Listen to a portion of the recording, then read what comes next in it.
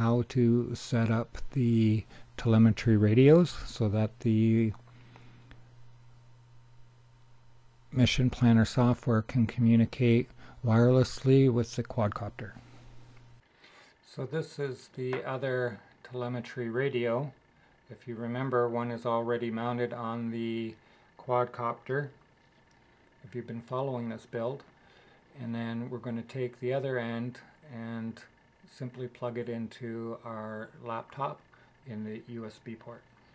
Okay, so we want to go to initial setup and then 3DR radio and then we need to change our COM speed to 57600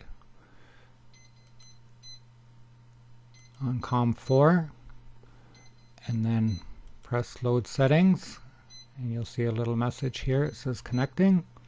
And this takes a second or two. Now it's loaded up the settings. So this is local and then this is what's on the quadcopter. And one thing you want to double check is that your net ID here and here are identical. Uh, sometimes you may, if there's, if you're in a gathering of people that have other quadcopters, you may have conflicts here and you want to make sure that uh, nobody is on the same net ID as you are. And then once we've loaded those settings, we can hit Save Settings. Now it's connecting.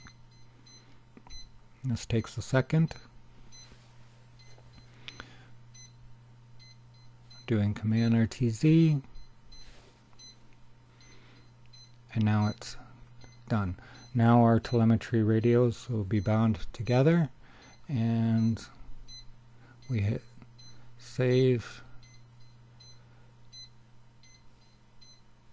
Settings. So now we can just uh, quit out of here.